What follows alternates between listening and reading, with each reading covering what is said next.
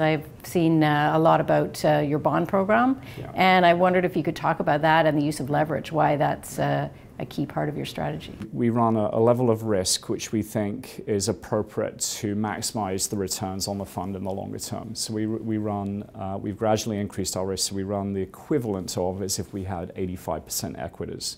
Now, we don't think it's a smart thing to just have 85% liquid equities in the fund. We think that would be very volatile and uh, you know, it's all in one, one asset class. So we prefer to have a much more broadly diversified portfolio. So we'd like to have some infrastructure, you know, so lower risk infrastructure, lower risk real estate, lower risk um, you know, other real assets and private equities and things. So, we, so that we have a very, very broadly diversified portfolio. Diversification is the most important thing in sort of risk, risk mitigation in, uh, you know, when, you know, crisis happens in one asset class or market. So we want a broadly diversified portfolio.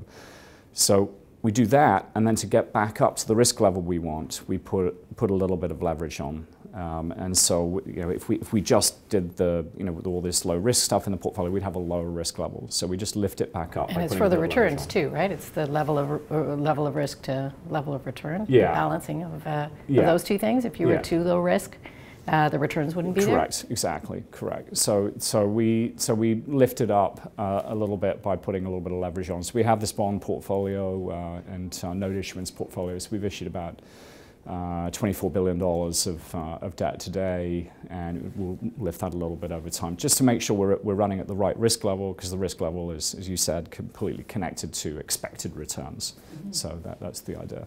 And do you find there's an understanding of that as well? Because when people hear leverage, uh, they tend to get nervous. And I think there are some critics that look at it and say, why are you structuring it that way? Why is there uh, this much leverage? Yeah, I mean, I think a lot of our peers in Canada do that, and peers around the world do it. So, it, and, it, and, it's very modest in the context of a you know 356 billion dollar fund. Uh, so, you know, we're very prudent and modest and careful about everything we do. Um, you know, our AAA rating is very very important to us as well. So, uh, you know, so that that's something that uh, we keep a keen eye on, and we're not, you know, we're, we're not going to do anything that goes anywhere near any, any type of uh, uh, stress on that. Right, any issues with paying on the bonds? I mean, I know they were snapped up in Canada when you started because yeah. because of the AAA.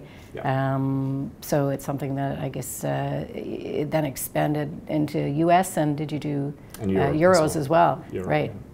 And I, uh, I believe you signed a memorandum of understanding uh, in China. Mm, you know, China continues to grow. Emerging markets continue to grow. We've got about 15.8% in emerging markets as of fiscal year end. We're going to gradually grow that over time. Uh, China is, uh, you know, is the second biggest economy, second biggest market in the world, um, you know, second biggest equity market, second biggest bond market. So it, it's something that we, you know, pay a lot of attention to. We've been investing there for about 10 years. One of the things that may not be well known, but you know, we were focused on is the uh, the changing demographics in China. China is actually going to age really quickly from here. Um, so it's it's gone through its peak um, labor force. So the labor force has peaked and it's now going to decline. And by you know 2050, they'll have 100 million people over 80 years old.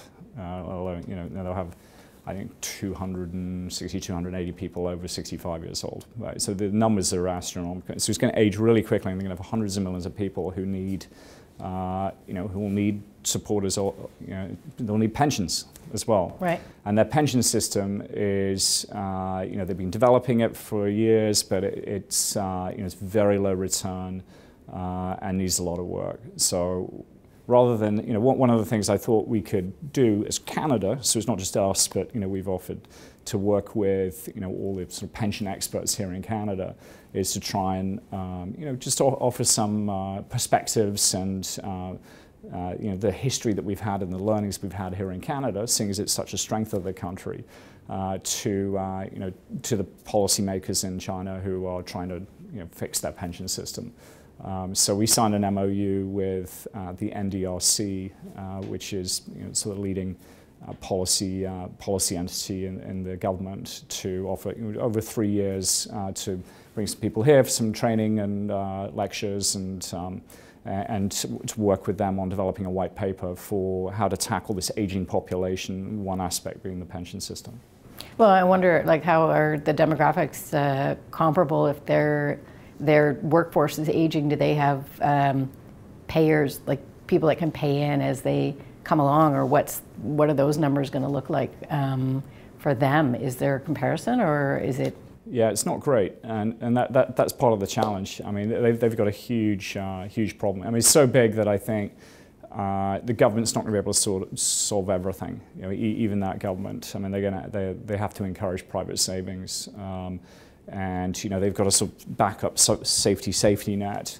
Uh, but you know, people are going to have big drops in uh, big drops in income. So it's it's a big uh, you know it's a big economic and social issue for the country that they're they're struggling with, and you know one that I thought you know. Uh, we could offer some helpful perspective on, um, given it's you know it's going to be an important destination for our capital. So rather than just just putting our money there, we could also offer a little bit of uh, you know inputs and perspective on lessons learned here.